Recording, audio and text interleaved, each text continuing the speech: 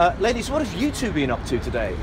We've had a lovely three course meal and we had the pleasure of listening to uh, some really, really wise words of Michael Johnson, who I really do like. I really do like. I mean, we did the same event. Um, he obviously is a lot quicker than I am.